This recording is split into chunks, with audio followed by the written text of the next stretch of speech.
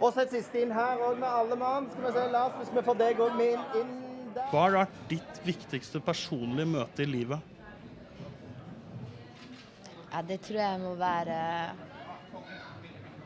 det første øyeblikket jeg har holdt mine to barn i armene. Det har det vært det aller viktigste. Det har vært helt overveldende. Og, og etter det så er det egentlig de to som er viktigst for meg. Mm. Og alt det andre, det går nå som det går. Mm. Ja. Hvordan er det å kombinere jobb som turnerende artist med det å være småbarnsmor?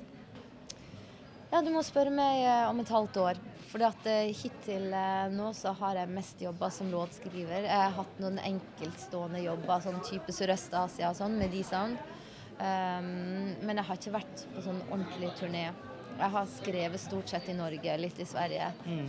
Så eh, vi får se Mm. om et halvt år hvordan det Gruer du deg til det? Jeg vet hva, det kan jeg ikke si. Fordi at eh, barna mine har to eh, flotte foreldre. Og eh, du vet, en, en fornøyd mamma som får lov til å reise ut og synge noe av det hun elsker mest å gjøre. Hun kommer til å være en bra person når hun kommer hjem. Mm. En person med overskudd og, og ferdig sunget. For spesielt eh, sønnen min, han er ikke noe glad i at jeg synger. Er han ikke det? Nei, ikke, ikke? synge, mamma. Kanskje han syns jeg blir litt sånn fjern og rar.